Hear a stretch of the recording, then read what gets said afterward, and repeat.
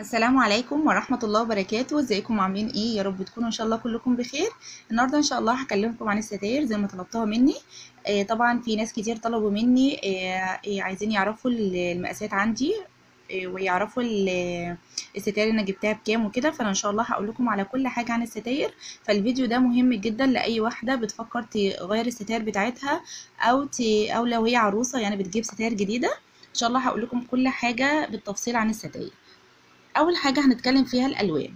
وطبعا الألوان دي أكتر حاجة بتبقى شغلانه كلنا بنبقى مش عارفين نجيب يعني ساعات كده بنبقى محتارين نجيب طب الألوان اللون إيه آه، انه اللي هيليق على العفش بتاعي. إيه سواء بقى العفش عندك لونه آه، بني أو أبيض أو كده بتبقى بنبقى مش عارفين نعمل آه، الستاره لونها إيه. فأنا هقول لكم على ثلاث ألوان. ثلاث ألوان بيليقوا على كل حاجة سواء كان عفشك أبيض أو عفشك بني أو أي لون انت عاملاه. آه، هتلاقي إن شاء الله الثلاث ألوان دولت ألوان جميلة جدا وكمان بتلاقي على كل حاجة. أول لون اللي هو اللون الكشمير بحب جدا اللون الكشمير آه، بيبقى مناسب جدا في كل مع كل العفش لونه حلو جدا فاتح ومبهج آه، فده آه، من الألوان الجميلة اللي بتلاقي على كل حاجة. تاني حاجة اللون اللي هو الأقوى. اللون الأقوى بيبقى زي اللون اللون اللي أنتوا شايفينه ده كده. ده اللون الأقوى. هو بيبقى آه، أخضر على يعني مزرق كده يعني أزرق مخضر يعني هو اللون ده بيبقى لون جميل جدا بيليق برضو على كل حاجة. أي أساس عندك أي عفش عندك أنت عاملاه بيليق عليه اللون ال- الأقوى. آه، تالت لون اللون الجراي اللون الرصاصي برضو بيليق على كل حاجة. أي عفش عندك ما شاء الله اللون الرصاصي بيليق عليه. طبعا دي أنا بقول لكم الألوان اللي هي بتليق على كل يعني على أي عفش. لكن انت لو حابة طبعا تعملي ألوان تانية مناسبة أكتر مع لون العفش بتاعك فكل واحد طبعا حسب ما بيحب. بس أنا قلت لكم على حاجات أساسية في الألوان وهي بتليق على كل على كل آه، حاجة يعني. ده بالنسبة للي هي الستاير اللي بتبقى قدام الستاير التقيلة.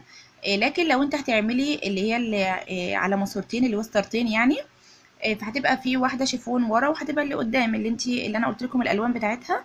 آه، لو هتعمليها بقى واحدة كمان ورا اللي هي شيفون فأنا بفضل جدا وأحسن لون مناسب جدا اللي هو اللون الأبيض. يعني في أي آه، ستارة عندك أي لون انت هتعمليه لو هتعملي واحدة تانية آه، شيفون اعملها لون أبيض. اللون الأبيض جميل جدا جدا جدا بيفتح معاكي. لو انت حتى العفش بتاعك غامق هتلاقيها مفتحة الدنيا جدا. آه، حتى لو العفش عندك فاتح بتبقى جميلة ومنورة المكان جدا. فأنا آه، كده كلمتكم عن الألوان. لو هتجيبوه ستارتين الشيفون خلوها أبيض والستاره اللي قدام اللي هي بتبقى ال- ال black out اللي هي التقيلة هتجيبيها يا إما كشمير يا إما aqua يا إما gray. دي الألوان اللي أنتوا لو محتارين تعملوا ألوان إيه. دي بتناسب مع كل العفش. تاني حاجة لما تكوني عاملة ألمونتال آه، على الشبابيك بتاعتك وخاصة بقى لو انت عاملة في أوضة النوم سواء أوضة النوم بتاعتك أو أوضة النوم بتاعت ال- الولاد خدي بالك جدا طبعا الألومنتال بيبقى آه، فيه ضوء داخل في في الشقة جدا. آه، لما عكس طبعا لما بتكوني عاملة اللي هو الشيش اللي طبعا اللي هو الخشب ده بيقفل جدا وبتبقى الدنيا مظلمة. آه، فأنت لو انت عاملة ألومنتال عندك اعملي اللي هي الستاير اللي هي تكون حاجبة للضوء وللرؤية. يعني أنتوا خدتوا بالكم ان أنا غيرت الستارة بتاعه اوضة البنات بتاعتي آه مع ان كانت ستارة لسه جديدة يعني أنا كنت لسه شارياها وكانت جميلة جدا وعجبني لونها آه فأنا غيرتها بلون تاني اللي هو اللون الرصاصي اللي أنتوا شايفينه ده لأن اللون اللون ال- اللي أنا كنت جايباه الأول آه هو black out مش بيخلي حد خالص يشوف آه من جوه يعني لو حد بره ماشي في الشارع ما يشوفش حد جوه ابدا لكن ما كن- ما كانش خالص حاجة بالضوء فكان الصبح أول ما النهار بيطلع أول ما النور بيطلع على طول بيبقى ال- الأوضة عندهم منورة جدا تحس إن إحنا الظهر يعني. فكان طبعا حاجة مش كويسة جدا ليهم فغيرتها لهم وجبت لهم اللي هي آه، اللي هي حاجبة للضوء وال وللرؤيه يعني محدش يشوفك وفي نفس الوقت تاخدي بالك جدا من موضوع اللي آه، الضوء ما يدخلش جوه. فده بالنسبة للناس اللي عندها ألمونتال لكن اللي عنده خشب عادي يعني عنده طبعا الشبابيك اللي هي اللي بتبقى الخشب دي فما فيش أي مشاكل لأن طبعا هي كده كده مبيبقاش فيه آه، إضاءة بنبقى قافلين فمبيبقاش فيه إضاءة. فدي حاجة خدوا بالكم منها جدا. تالت حاجة آه، بالنسبة لمقاس الستارة نفسها. يعني في ناس بتبقى مش عارفة تعمل آه، الستارة قد إيه. فأنا النهاردة هقول لكم ال- المناسب يعني مع ستاير. انت لو هتعملي ستارة أقل حاجة تكون أقل حاجة الضعف. يعني أنت مثلا عندك الشباك مثلا هنقول متر. أقل حاجة هتعملها في الستارة 2 متر. يعني هتجيبي ستارة 2 متر. وده مش هتبقى عاملة كشكشة كويسة يعني. فأنت طبعا هتجيبي آه، أربعة متر ستة متر. كل ما بتكتري بتبقى عامل- عاملة معاكي كشكشة حلوة جدا وجميلة. أنا عندي آه، أوضة مثلا أوضة البنات آه، دي متر مية وعشرة. الشباك بتاعها مية وعشرة. فأنا عاملة بالظبط الستارة بتاعتها أربعة ونص فمعقولة جدا يعني كويسة. طبعا لو أنت هتعملها أزيد كمان بتبقى أجمل وبتبقى عاملة كشكشة حلوة قوي. فأقل حاجة في آه، الستاير هتعملها أقل حاجة اللي هو الضعف. وكل ما بتزودي كل ما بتطلع معاكي كويسة ده بالنسبة للستاير اللي أنت ما انتش عاملة فيها اللي هو الشريط بتاع اللي هو بيكشكشها ده الكشكشة. طيب لو أنت عاملة في الستارة آه، شريط اللي هو الكشكشة آه، اللي هو أنا عاملاه زي ما أنتم شايفين كده في ستارة شيفون الستارة الشيفون أنا عاملة فيها اللي هو الشريط ده فأنا مكشكشاها كده آه، بحيث ان هي تعمل الشكل الجميل ده. فبتاخد آه، طبعا أكتر كمان. يعني يعني أقل حاجة إحنا قلنا في التانية أقل حاجة الضعف لأ دي أقل حاجة بتزودي. يعني ده أقل حاجة مثلا الضعفين. يعني مثلا هتعملي لو هي متر هتعملي أقل حاجة تلاتة أو أربعة. فلأن طبعا كل ما بتكشكشيها كده بالشريط ده بتصغر معاكي فطبعا بتحتاجي إن انت تجيبي إيه، أكبر من كده. ده خلاص بالنسبة للمقاسات بتاعت الستاير كده آه، عرفناها مظبوط. قبل ما تفصلوا الستاير خدي بالك جدا آه، اللي انت تركبي المواسير الأول. يعني أنت هتركبي المواسير وبعدين تروحي تقيسي بقى المسافة ما بين الماسورة للأرض. انت لو حابة الماسورة تكون على الأرض خالص يعني زي ما انت حابة قيسي ال- ال- ال- المقاس اللي انت حباه وبعدين تروحي بقى للي هو هيفصلك الستارة تقولي له أنا عايزة المقاس كذا طول وعرض. هو دايما الطول بتاع الستارة بيبقى 280 فانت آه، شوفي بقى المناسب معاكي آه، سواء بقى 100 و 250 أو 260 حسب ما انت هتحطي الستارة. فمهم جدا قبل ما تقيسي الستارة أو قبل ما تفصلي الستارة تعملي المواسير الأول عشان تبقي عارفة مظبوط جدا ال- الطول بتاعها والعرض يعني والطول.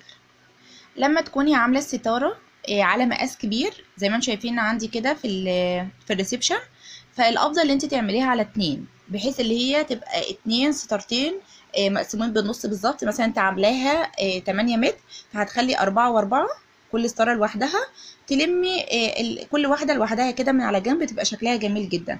طيب لو انت عاملاها آه، في في مكان صغير زي عندي كده في الطرقة هتعمليها على ستارة واحدة. يعني مثلا الأربعة متر كلهم مع بعض وهيتجمعوا كلهم وهيتلموا مع بعض على جنب واحد. طبعا بتحطيها في الجنب المناسب آه، للمكان أو زي ما انت حابة لو الاتنين مش فارق يعني. حاولي تخلي المكان اللي بتلمي عليه الستاره زي اللي أنتوا شايفينه ده كده ما يكونش بعيد عن الأرض.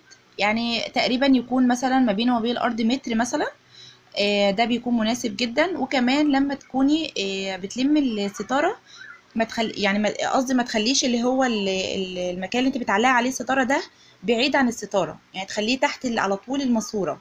إيه، لأن في ناس ممكن تبعده شوية. فأنت لو حابة ان انت برضو لو عايزة تبعديه شوية مثلا المكان عندك مش مناسب ان انت تخليه جنب الستارة على طول إيه، خلي اللي هو الشريط اللي انت بتلمي بيه الستارة يكون طويل بحيث إن الستارة عندك لما تكوني إيه، لماها كده ما تكونش مشدودة وتكون مهوية وشكلها حلو. كل ما بتخلي الستارة عندك مهوية والشريط مش شديدها قوي بتكون شكلها حلو جدا وأشيك يعني. حاجة مهمة جدا وأنت بتعملي الستاير بتاعتك حاولي تخلي الستاير بتاعتك بسيطة. إيه، بلاش خالص موضوع البلتكنات لأن طبعا هي موضة قديمة وخلاص وفاتت. إيه، اعملوها على المواسير. على فكرة المواسير شكلها شيك جدا ود- و modern جدا إيه، وبتدي شكل حلو قوي في المكان. بلاش بقى البلتكنات لأن طبعا بتبقى صعبة جدا. لما تيجي تغسليها لازم مش بتحتاجي حد يشيلها لك أو بتبقى صعبة عليكي وأنت بتشيليها. وبرضه لو إيه، يعني عايزة تعلقي الستاير فبرضه بتحتاجي حد يعلقها لك فطب وليه كل ده فانت اعمليها ليه على المواسير سهلة جدا بتعلقيها انت بنفسك وبتغسليها في وقت ما بتغسليها زي ما انت عايزة. وكمان في الشكل بتبقى حلوة قوي حتى لو انت هتعملي اللي هي على ماسورتين بتعمليها برضو بشكل حلو هتبقى شيفون ورا واللي قدام اللي هي ال black out دي بتبقى شكلها حلو جدا وبتبقى مديه شكل حلو جدا للمكان. فحاولوا على قد ما تقدروا أي حاجة أنتوا بتعملوها لبيتكم خلوها بسيطة عشان بعد كده لما تكوني بتنضفي ما تبقيش زهقانة أو تحسي إن الدنيا عندك صعبة. خدوا بالكم جدا جدا من موضوع المواسير لأن المواسير عندي ديت كانت حاجة يعني ما كنتش عارفة أنواع المواسير فكنت بجيب يعني آه، جبت كام ماسورة واتكسرت وبعدين غيرتها لحد ما شفت نوع يعني كويس. فأنتوا خدوا بالكم جدا من موضوع المواسير ويعني لو هتعملوه على مكان كبير. يعني مثلا زي عندي ال reception كده. آه، الستارة بتاعت ال reception طبعا كبيرة. فاختاروا ال- الماسورة اللي هي ال- ال- المتينة. زي ما أنتم شايفين كده أنا دي الماسورة اللي كنت دايما بستخدمها. آه، كانت دايما بتتكسر مني. آه، لكن الماسورة دي جميلة جدا متينة قوي. ما شاء الله ما بيحصلش أي حاجة. فانت مثلا لو هتجيبيها أنا عاملاها هنا لل لل reception وعاملاها برضو في الحمام. فجميلة جدا متينة جدا. ما شاء الله من ساعة ما جبتها ما كسرتش ولا مرة بعكس اللي أنتوا شايفينها التانية ديت كسرت مني كتير جدا. آه، لكن أنا سايباها عادي في في المكان الصغير زي الشبابيك ما بيحصلهاش حاجة. لأن ال- الستارة مش تقيلة قوي مش كبيرة يعني ولا حجمها كبير فمش بيحصلها حاجة ولا بتتكسر. فخدوا بالكم من موضوع المواسير اسألوا على كل الأنواع وشوفوا انه آه، أفضل نوع وجيبوه. أسعار الستاير اللي أنا جبتها أنا طبعا جايباهم من سنتين تقريبا. كانت الستارة بتاعة ال reception وبتاعة الطرقة طبعا الاتنين نفس اللون ونفس الخامة. كنت جايبة المتر منهم ب 70 جنيه. إيه، كان المتر منهم ب 70 جنيه. جبت اللي هو ال- الشيفون. الشيفون كان المتر منها ب 75 اللي هي الدانتيل اللي أنتوا شايفينها دي دي ب 75 المتر منها. إيه، جبت لل اللي هو لل reception. جبت كام؟ إيه، سبعة متر. تلاتة ونص وتلاتة ونص أو تمانية متر تقريبا كانوا تمانية متر أربعة وأربعة وجبت للطرقة أربعة متر. خلاص كده إيه، ده بالنسبة لل reception وال- والطرقة الاتنين شكل بعض. إيه، أوضة ال living الستارة بتاعتها كانت بالظبط نفس أوضة الأطفال كنت أنا جايباهم في وقت يعني مع بعض. إيه، بس غيرت بعد كده الأطفال يعني زي ما قلت لكم جبتها اللي هي اللون ال- ال gray دي. ف- فأوضة ال- فالستارة اللي هي المشجرة بتاعت ال- living دي كان المتر فيها بخمسة وسبعين جنيه وبرده بتاعت أوضة النوم اللي هي المشجره لما كانت يعني كنت حاطاها في أوضة النوم أنا دلوقتي حطيتها في على المنور على المنور علقت كده ماسورة على المنور وحطيتها على المنور. آه، دي كان المتر فيها بخمسة وسبعين جنيه. آه، جبت منها وقتها جبت جبت خمسة متر أو أربعة ونص حاجة برضو في ال- الحدود دي معلش أنا مش فاكرة قوي ال- المقاسات يعني لأن أنا طبعا جايباهم من فترة. آه، لكن الشيفون اللي فوق في أوضة ال living اللي ورا الستارة المشجرة دي كان المتر فيها ب 20 جنيه ما كنتش جايباها غالي قوي يعني. آه، أوضة النوم بقى كانت الستارة بتاعتها أنا كنت جايباها جاهزة من آه، من هايبر. آه، دي كانت كانت الستارة هو كان على ستارتين. هي كلها آه، تلاتة و تلاتة ونص تقريبا. كانت الستارة مية وخمسين حاجة زي كده. آه، كانت الستارة وقتها كان عليها عرض كانت بمية وخمسين. فأنا جبت الاتنين بتلتمية تقريبا. فده كان آه، الأسعار بتاعت الستاير بتاعتي.